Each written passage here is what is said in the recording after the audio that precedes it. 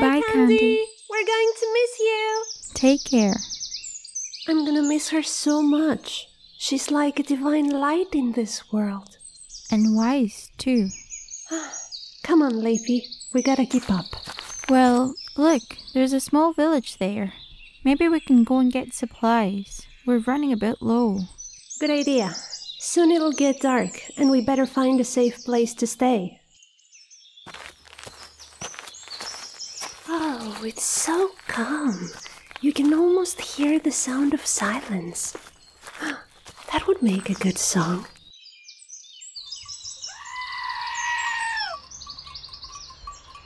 Wait, is that a sheep? Yeah, this is strange. They usually travel in herds. Let me see if I can help. Oh, hey, calm down. You're safe. Are you lost? Really? I understand. But your family will be worried. I know. They care about you. They take good hmm. care of you. I'm wondering what they're talking about. Maybe we should take It seems so weird talking to What do you animals. say? But it's cool. What kind of voice could it possibly have? Lovette, Mr. Wool here would like us to take him back to his owner. Can we help him? His owner is called Ida. Mr. Wool? Oh, that's so cute. Of course. Of course we'll help him. Let's go and find her. Mr. Wool! Mr. Wool! Where is that sheep? Hey! Are you Ida? We found Mr. Wool. Oh, Mr. Wool, you're safe. I got so worried about you. Don't do that again. And you too. Thank you so much for bringing him back. How can I call you? I'm Lovette. And I'm Siona. It's so lovely to meet you. You're not from around here. Please let me repay your kindness with warm food and a good night's sleep. Oh, that would be amazing. Thank you so much. Don't even mention it. Oh, one question. How did you know my name was Ida? Oh, Mr. Wool told us. Mr. Wool? Mama! Uh, Mama, you're back! Uh, who are these girls? These are Lovette and Sionnach, dear. They helped bring Mr. Wool back. Oh, thank you. Mom, guess what? I made up a story with my dolls. There is this brave knight and a fierce dragon and. All right, all right. Let's save the storytelling for later. Let's go to the table now. Oh, okay.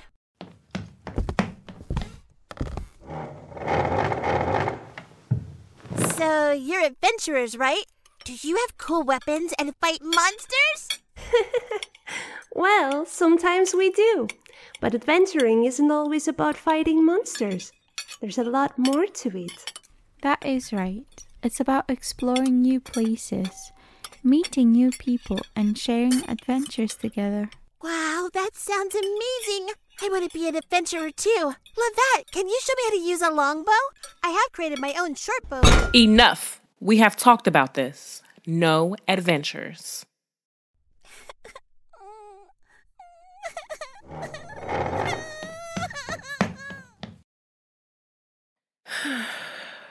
I I'm sorry for that outburst. It's just it's just I lost my mother to adventuring. She was even adventuring while she was pregnant. After she gave birth to me, she settled down to raise me. I had no father, but still she was longing for her adventures. So when I grew up and I was ready to live by myself, she left again. The adventure was calling her. She was old, but still she had that fire in her. And that fire took her away from me. Sometimes I don't even know if she really loved me or I was just a burden to her adventures. I was a grown up woman. I didn't need someone to take care of me anymore, but I still wanted my mother back. But she never returned. Some friends of hers brought back news of her passing. My daughter, Lily, she she dreams just like her grandmother did. Always lost in her own stories, creating adventures with her dolls, and even crafting that little bow. But I can't bear the thought of her facing the same dangers that took my mother away. I won't let her get hurt. All I have left for my mother is this necklace. I won't live that story again with my daughter. Can I see this necklace? Sure. I knew I sensed some kind of magic on you. This is quite exquisite, Ida. There's something magical about it. Magical? Yes, there's an illusion spell here. Maybe a message or something. Hmm. Seems like if you say the word that it's written on it, it will trigger the spell. You mean the little gem?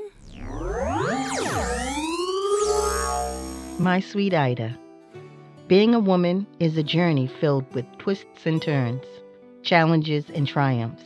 In my adventures, I discovered the strength that resides in every woman's heart the power to overcome, to love, and to shape her own destiny.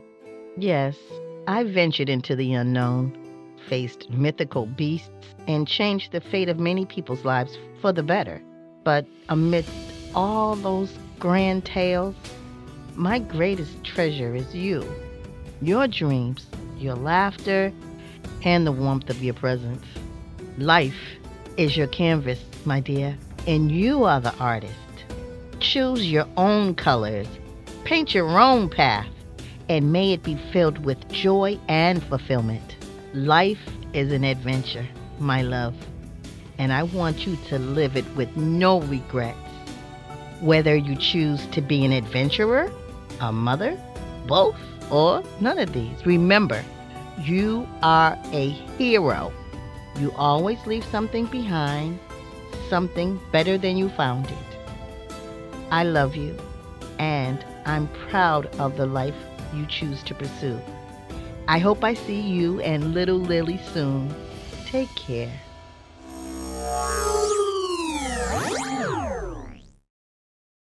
Your mother was an amazing woman. She shared some profound thoughts. The life of an adventurer is incredibly beautiful, even though most of the time is filled with challenges, fierce battles, confronting terrifying monsters. well, uh, what Sionnach is trying to say is that um, life throws different challenges at us.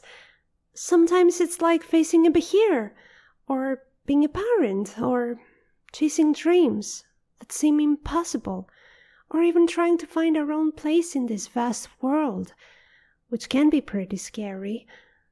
But you see, we shape our own destinies.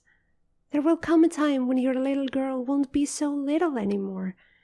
She's got her unique path to follow and her own legacy to leave. Judging by her grandma and mother, who are both incredible and strong women, I'm certain your daughter will be amazing too. You are right. I thought I could shield her from everything in this world forever, but yes, they grow up so fast. I should go and talk to her. Thank you.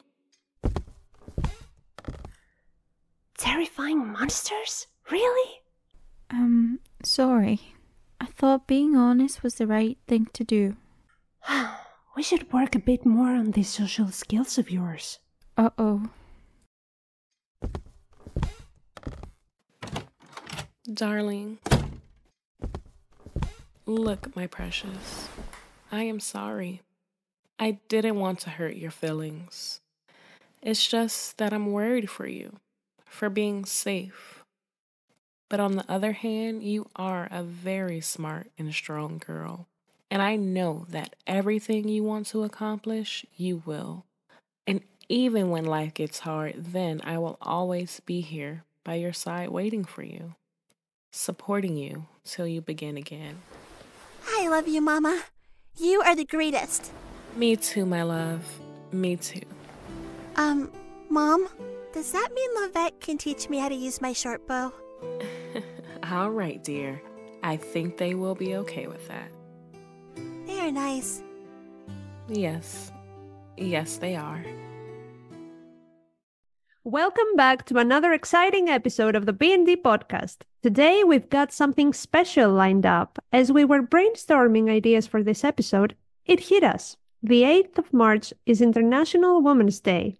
Although we might be a tad late in making the occasion, we decided to dedicate this episode to all the incredible female characters who have left a lasting impression on us in movies, series, books, games, and the vast realms of fantasy in general. So, even though the date has passed, our discussion is a heartfelt tribute to the strength, resilience, and inspiration these characters bring to the forefront of our imaginations. But since we are talking about inspiring women, and before we jump into our discussion, a special shout out and heartfelt thanks to the talented voice actors who have participated in today's intro. Three amazing and talented women who have graced us with their voices. A shout out to Deb Lawrence, who played Ida, Maria Amelia Park, who played Little Lily, and to Lovie Tavares, who played Ida's mother. Your contributions are greatly appreciated, and we're thrilled to have you as part of our podcast journey. You will find more info about them down in the description box, so go and check them out. Now, without further notice, let's begin. Val, who is your all time favorite female character from the world of fantasy, and what qualities make her inspiring to you? That is such a hard question, to be honest. I swear, even if you gave me hours and hours to think about it, I wouldn't be able to choose one and not change my mind right after.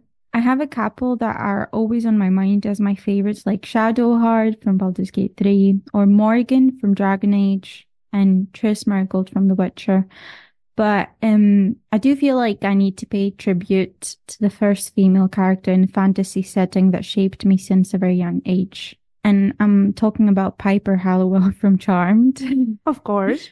she was the first witch I ever knew. She made me believe that women can be mothers, they can run a successful club, pursue their careers, and also fight demons. That women can also be fair and loyal and independent, love deeply, sacrifice themselves for the greater good and their loved ones, but also while they're focusing on their inner strength. This is really part of my best childhood memories. I remember trying to so hard to freeze time and vanquish whoever made me feel angry back when I was in primary school. I remember reading about witchcraft for the first time and feeling empowered and thinking that magic is all around us if you just believe.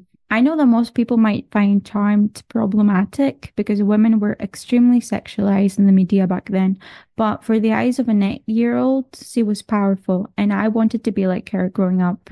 I've never been obsessed with Charmed, to be honest, but I can totally understand the reason you are drawn into that character. As for me, that changes every once in a while. Uh, in the state of mind that I'm in right now, I would say Tyrande Whisperwind from the world of Warcraft. What makes her truly inspiring to me is not only her exceptional leadership amongst the Night Elves, but also the depth of her character. Tyrande is a symbol of strength, resilience, and determination. She navigates the challenges of leading her people with grace and wisdom, making tough decisions for the greater good. But what also resonates with me is her enduring love for Malfurion Stormrage you know, uh, commitment to their relationship, despite the challenges posed by Malfurion's frequent ventures to the Emerald Dream, showcases a powerful blend of love and determination. Her character beautifully embodies the complexity of being both a fierce warrior and a devoted lover, making her a truly captivating and inspiring figure to me. Uh, Malfurion is one of my favorite characters, to be honest. The whole story between him, Tyrande, and Illidan is so nostalgic. It reminds me of the years I was playing World of Warcraft. These were the times. They were. but yes, I agree with you. She's amazing. She is. Anyway, I've got another question for you. Mhm. In fantasy literature and media, How have representations of female characters evolved over the years? Are there specific characters that stand out in this evolution? Um, over the years, the representation of female characters in fantasy literature and media has evolved significantly. We've witnessed a shift from traditional stereotypes to more nuanced and empowered portrayals. However, I do find it problematic when productions force the empowerment of women merely for the show, without depth or authenticity. It can come across as performative rather than the genuine support for women's roles in storytelling. Personally, what I appreciate most is when a narrative features a strong female supporting character with genuine power, determination, and complexity. I don't necessarily insist on the protagonist being a woman. Instead, I enjoy it even more when the supporting character steals the spotlight with her strength, resilience, and compelling narrative arc. A great example that comes to my mind um, is a character, Yoo Sangah, from uh, Omniscient Reader's Viewpoint, a manhwa I'm currently obsessed. At first, you might anticipate the typical romantic interest trope, a woman who has no powers, and the MC, who is super duper strong, uh, comes to her rescue. But Yoo Sangah defies all expectations. She begins as a mysterious character, knowing almost nothing about her, and later on, boom, she evolves into a powerhouse with incredible abilities, fighting with the strings of fate since she is chosen by the Olympus Pantheon. And her character development adds layers of depth that make her uh, truly captivating. And I find myself rooting for her even more than the male protagonist, showcasing the impact of well crafted, empowered, supporting female characters in fantasy storytelling. Can you think of any specific character you want to mention about that? I can't think of a specific character uh, to be honest, but I do want to say that I feel like over the years, the representation of women in fantasy and specifically in TV and films um, has improved dramatically. I remember watching superhero films growing up and TV shows like Xena the Warrior Princess and oh, Hercules, yeah. the legendary journeys. yeah, yeah, yeah. Where women were completely over sexualized in every possible way. Yes, they were fierce fighters, but most of them were underdressed and they were showing off their skinny, amazing bodies deliberately, which created stereotypes of the image of women in fantasy. The same happened in video games, even if we like them and even if we love them, like, for example, League of Legends and many others. It's completely different when it's your choice to choose to wear whatever you want as a person because you feel confident and beautiful, and completely different for men game designers to force unrealistic body stereotypes and promote the misrepresentation of femininity, or what I prefer to call sexualization of women masked as femininity that only gave eating disorders and trauma to our generation. I do feel like nowadays we see more strong female leads or supporting female characters who are cherished for their bravery, their mind, their free spirit, their strong willed persona, their depth, and their willpower they're not only judged by the way that they look. Obviously, Hollywood will always be Hollywood, and this toxic patterns cannot change overnight. But I'm glad that there are more and more people who try to promote that it's okay to be di- different and you don't have to look a specific way to be a superhero, for example.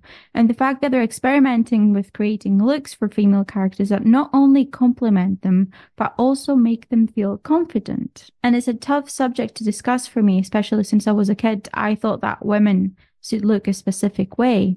Not too chubby, but with perky bums or breasts. Not too skinny though, because then you don't have enough fat on you to look curvy enough. And for years, I starved myself to even try to look half as good as my fictional idol. So I feel strongly about this subject. yeah. Anyway, I'm going to go to the next question uh, that I've got for you, Ziffy. Mm-hmm. Why do you think it's important to have strong and independent female characters in fantasy? I think it is crucial for several uh, reasons. Firstly, it breaks away from traditional gender stereotypes, as we said before, promoting diversity and inclusivity in storytelling. This diversity allows for a broader range of narratives and perspectives, making fantasy worlds uh, more reflective of our own diverse reality. Personally, I find inspiration in well developed female characters because uh, it allows me to relate to their experiences, emotions, and journeys, feeling a connection with characters uh, regardless of gender. Uh,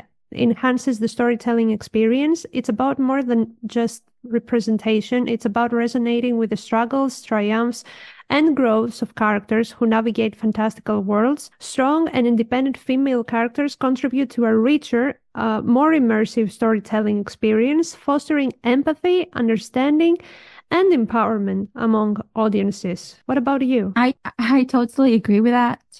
Is living in a society where women are criticized for choosing to be mothers and stay home to raise their kids, in a society that rails against the ones who decide to follow their careers instead of having children or getting married. It is painfully exhausting to be able to catch a break and breathe normally for one day. I do feel like I'm an escapist, so, and as a child, I was lucky enough to find role models in books and films who inspired me to fight my own dragons and demons through believing in myself and choosing to be different.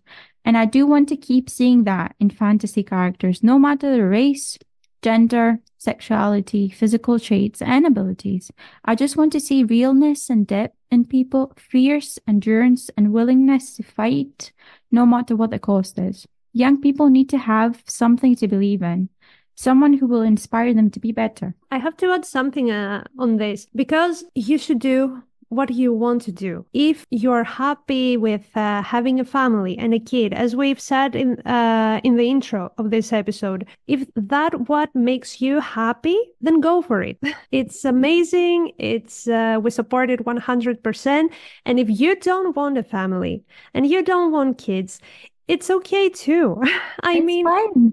if you want a career, go for it. Just go for it. Everything is great and everything is fine if you just uh, want to follow this path. If you are happy with the path you choose to follow, you're totally fine and you just go for it. Don't let labels to stop you from um, trying what you really want to do. Don't let labels like, um, you're a grown old woman, you have to uh, make a family, and you don't want to make a family. So don't. Don't listen to them. Just do what you want to do. Do what makes you happy. Do what exactly. gives you a peace of mind. And on the contrary, if you want to be, you know, a housewife, uh, to be a woman who wants to raise her children. That's amazing too. Don't let others saying that, oh, you're so young, you have to do things, you have to focus on yourself, you have to do more. No, if you want that, then go for it.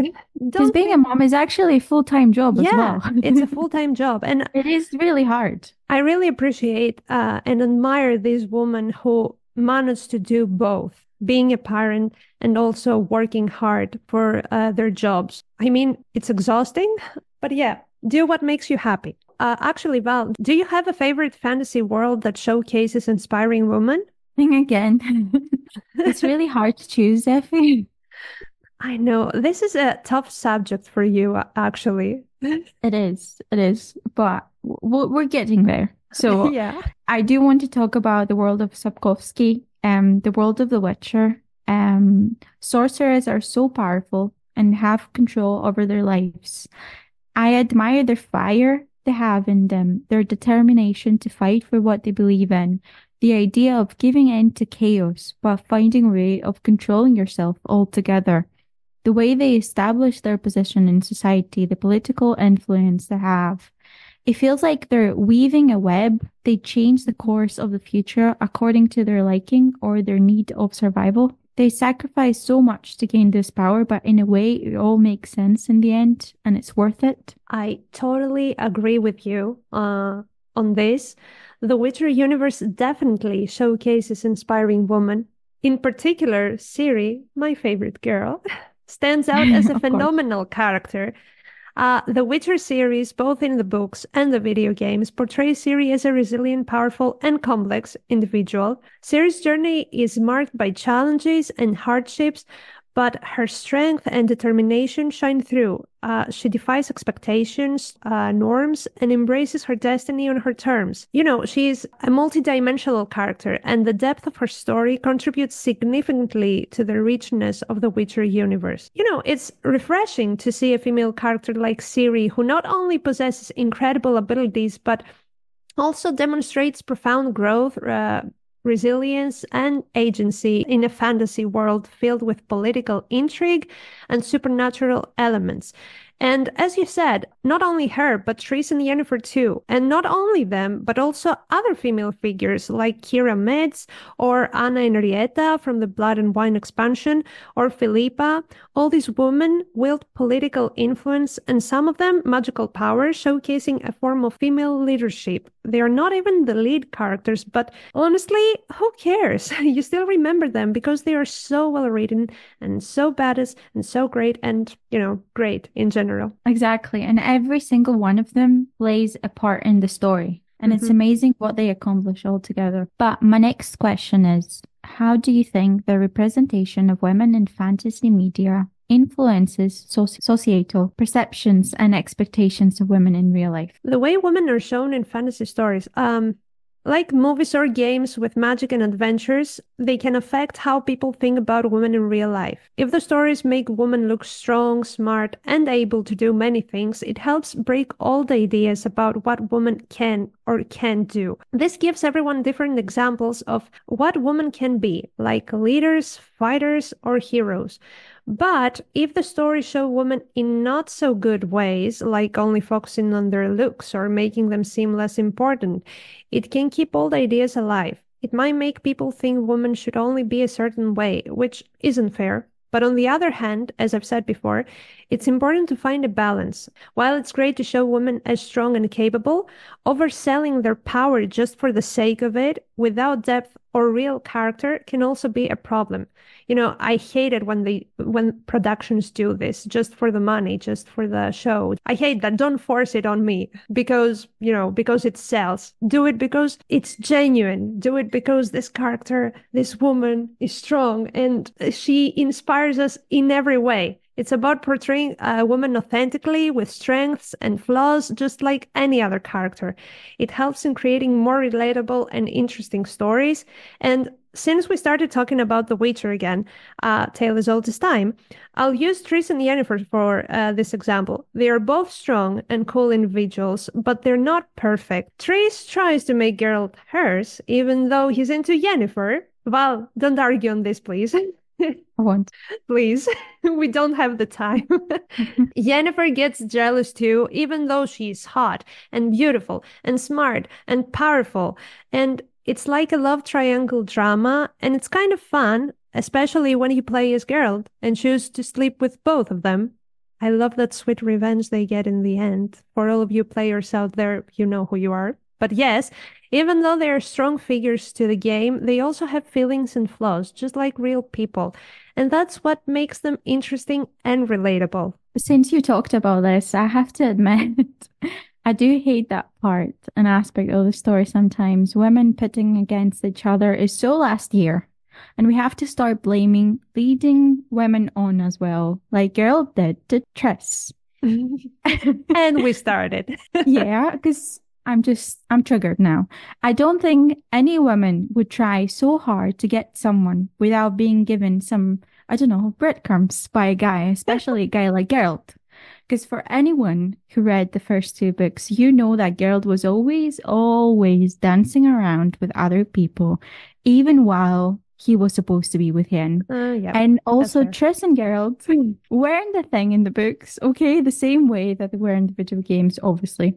But let's just say that all three of them are problematic in a way. Mm-hmm and they all have flaws and it's interesting and real and relatable to see because these things can happen in real life. But back to what you were saying about perceptions and expectations of women in fantasy media I think we have moved forward from the whole damsel in distress era of representation of women, and it's really refreshing to see more and more strong female leads. I personally am really appreciative of this because we have lived so long in the shadows in a way, and it's good to finally feel appreciated. I'm not a mom, obviously, but I'm an auntie, and I want my nephews to grow up to become respectful to the world and treat everyone equally without judging them for their life choices or their appearance as long as we have characters that people can relate to, can look up to, admire, and get inspired by, then I think the world will be a better place. I don't like any kind of stereotypes in general. I don't want to follow or support any of them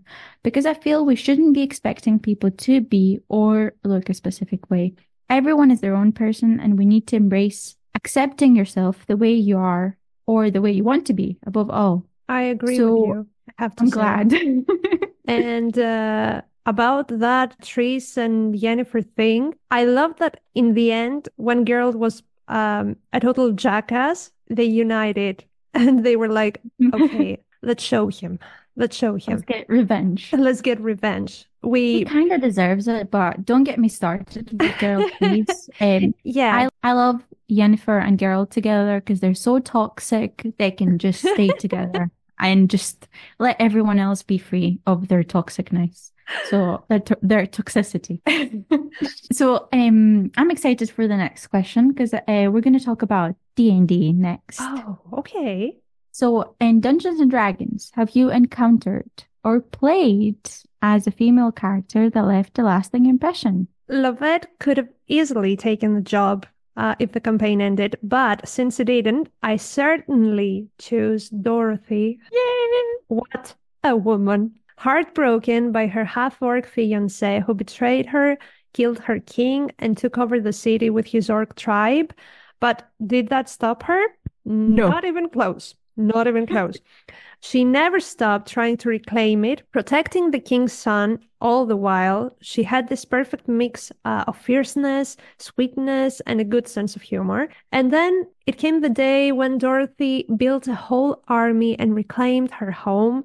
When her past beloved told her uh, he truly loved her but couldn't change the past, she almost took him out. Instead, she showed him the door and never looked back. Because just like Dorothy, we don't accept any balloonies, and We don't. neither should you, folks. Remember this. We don't. We will not. I feel so inspired now. Thank you, Dorothy. Thank you, Dorothy. And I Dorothy is, I was just going to say that Dorothy is literally the actual representation of a strong female lead in a Dungeons and Dragons campaign. She will always hold a special place in my heart for that. I think a second inspiring character in this campaign was Brianna. Yeah, because of Dorothy though. Um, she was my ranger basically, and she was looking up to Dorothy so much. She took some of her good traits. She was stubborn, yes, but she was giving and as loyal as a dog, or maybe let's say a bear. Yeah, yeah. Since she had her fair. werebear curse.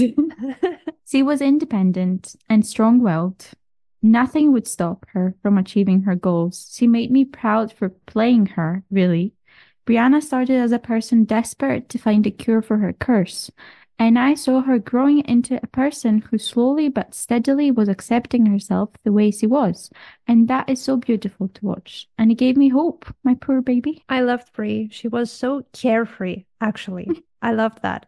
And she was always trying to, she was always trying actually really hard to be better for the people who accepted her and became her friends. She was a good bear, if not in a full moon. A full moon has become my biggest fear. yeah, oh. I understand that. I miss them both. I do miss them. Anyway, tell me, Zeffie, are there any fantasy books or movies or series where women break traditional gender roles that you enjoy? Absolutely. Uh, in the world of books, since I'm currently reading The War of the Ancients, uh, World of Warcraft books, uh, I'd say Tyrande for all the reasons I have mentioned already. Anime has its share of powerful women challenging norms, and I can't get enough of 2B from Nier Automata. She's not just an android, she's a symbol of resilience and defiance against an oppressive system, Aquarius. but moving on to the series, The Dragon Prince features characters like General Amaya, a deaf military leader challenging stereotypes and proving strength knows no boundaries. And I love this character. She has such Dorothy vibes. Oh my God. Every time I watch it, I'm like, this is Dorothy. If she was deaf. she she even has the exact appearance in class and uh, dorothy was played before uh, the release of dragon prince for your information. So imagine my excitement when i saw general amaya i was They stole your idea. yeah yeah. But never mind. I let them. Anyway in movies who could forget eowyn actually from lord Oh. of the rings? Her courage on on the battlefield and iconic line i am no man as she faces the Witch King of Angmar, you know, is etched in fantasy history. I remember watching this scene as a child and my imagination ran wild. These portrayals truly make me truly make the fantasy genre richer and more inspiring. I've I really I have been trying the whole time not to talk about this, but I can't control myself any longer. I want to talk about J.R.R. Tolkien so badly. Re- release the beast. And I promise I'll try to keep it brief. Um, specifically about the character of Eowyn, since you mentioned her. Mm-hmm.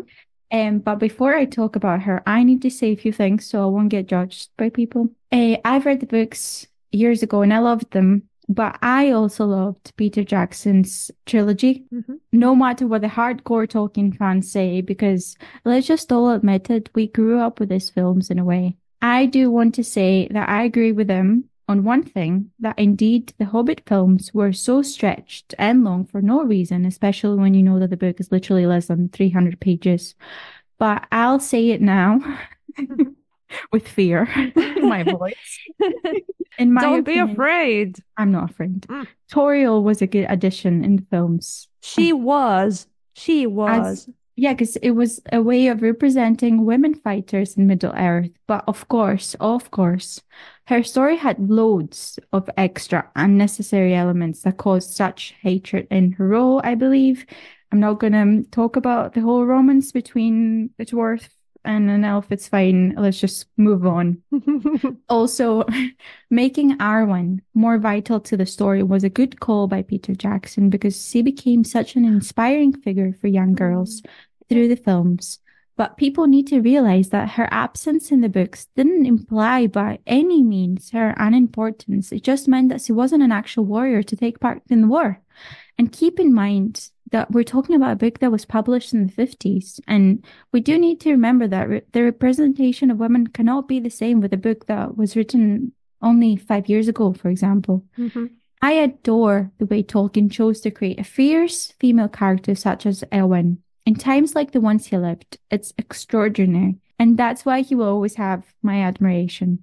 Fantasy female leads were never going to be the same after Eowyn's speech against the Witch King. That part in the book specifically where she says, But no living man am I. You look upon a woman. Oh. Eowyn, I am Eomund's daughter. You stand between me and my lord and kin. Be gone if you be not deathless, for living or dark undead, I will smite you if you touch him. Okay, I think I made my dream come true just now by reciting this out loud for the first time, and kind of feels amazing. You know, that gave me goosebumps. but um, I think Tauriel was a cool addition to the movies too. Having a woman fighter in Middle Earth was a good move. And as for Arwen, she is my brighter star. I love her. If you want him, come and claim him. Oh, oh damn. Goosebumps. She's amazing. anyway, I'm gonna ask you the next question. Um, can you recommend any fantasy stories with relatable and strong female characters, Effie? Well, I think Star Wars stands out in this one. Of course. Especially the character of Ahsoka Tano, introduced in the animated series, has become a symbol of resilience and growth. Her journey from a young Padawan to a wise and powerful Force user resonates with many fans and me. And I still remember the iconic I am no Jedi line, and I feel the goosebumps. Okay, um, now it hit me. I am probably kind of rebellious with all this. I am not this and I am not that lines. Tell me, Val, is it because of me being an Aquarius? I don't know. Don't get me started. It has always been written in the stars for you, Zephy, a rebellious Aquarian with a fiery Leo moon, always passionate about the things he loves. Okay, now I understand. Now I understand. Sometimes I feel like, uh, you know, you're a star druid. Actually, I am the star druid, and you are my star map for casting spells. also, uh, an important addition the impact of Princess Leia's character in the original Star Wars movie New Hope, released uh, in 1977, cannot be overstated. At a time when strong and independent female characters were not as common uh, in mainstream media, Leia shattered stereotypes and became a groundbreaking figure. Her strength, leadership were revolutionary, influencing generations of fans and future creators. And Carrie Fisher's portrayal of Leia Organa set a precedent for women in fantasy and science fiction.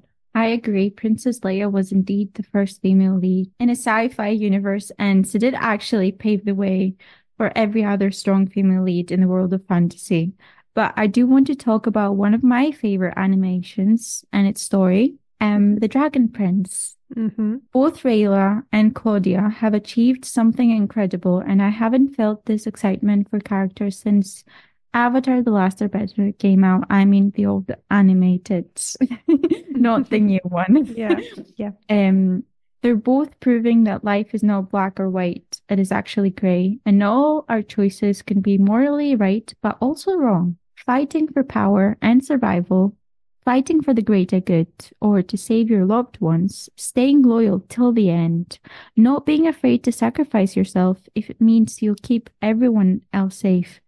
I do have a soft spot for the villains, always. Mm-hmm. And we know. Claudia, and Claudia has proven herself to be a wild card with a strong cause. And Rayla, on the other hand, her trauma and thirst for revenge, her undying need to prove herself, oh, it's just so great to watch. Mhm. These characters seem so relatable in a way. And also, since I talked about the Dragon Prince, I cannot not talk about Avatar The Last Airbender and The Legend of Korra.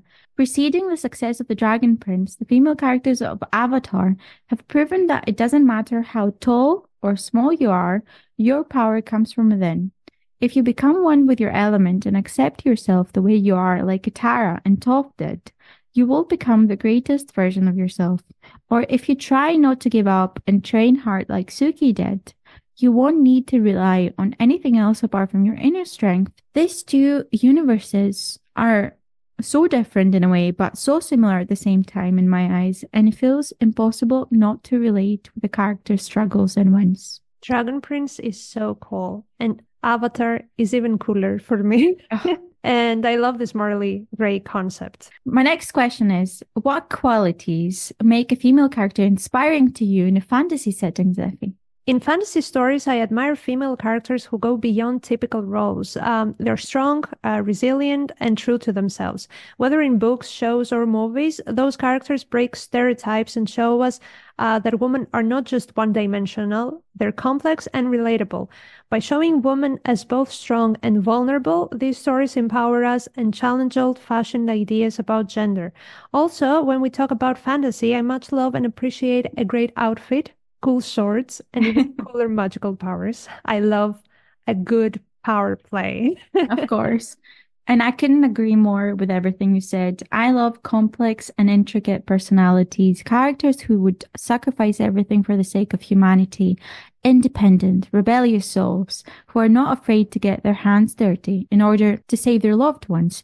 Women who are vulnerable and choose to use their weaknesses are as their biggest strengths. Give me a bow and arrow, girl, please. I don't need much in this world. Yes, yes, yes, exactly. The rebellious one. Yeah, specifically. but anyway, guys, this is it for today's session. We hope you enjoyed it. Uh, we wish to know about your favorite female characters in fantasy. Thank you for listening to this episode, and until the next one, may all your rolls be a natural 20. Bye! Bye.